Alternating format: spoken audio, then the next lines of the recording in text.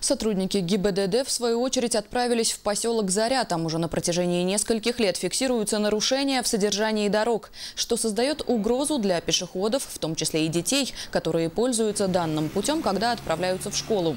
К сожалению, и на этот раз госавтоинспекторы выявили ряд несоответствий требованиям безопасности.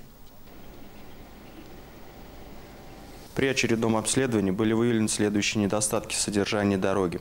Отсутствие тротуаров, занижение обочины, отсутствие освещения, что создает угрозу безопасности участников движения.